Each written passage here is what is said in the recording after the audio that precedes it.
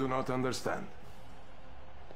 We have altered the past and changed the present. Ah, good to see you, sir. I have the reports from the front that you requested. Thank you. What do you have for me? I'm sorry, Comrade General. I meant Premier Cherdenko.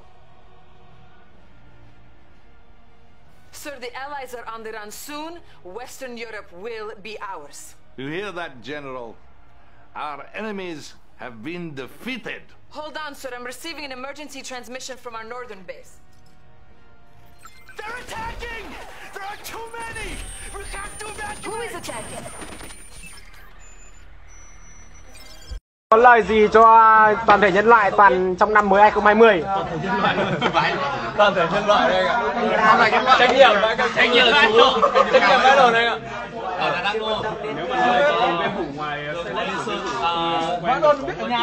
Việt Nam thì kiểu đéo thì cũng chiến tranh còn những nước khác thì không có đâu. Vâng, rất cảm ơn anh ạ.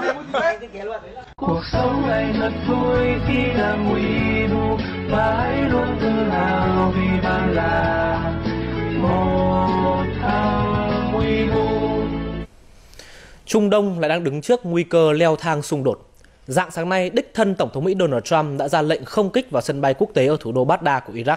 Mục tiêu là chiếc xe chở thiếu tướng Qasim Soleimani. Cái chết của thiếu tướng này có thể coi là một diễn biến leo thang nghiêm trọng tại khu vực Trung Đông, bởi vì từ đây có thể dẫn tới những căng thẳng nguy hiểm và ông này là một trong những nhân vật quan trọng hàng đầu của Iran.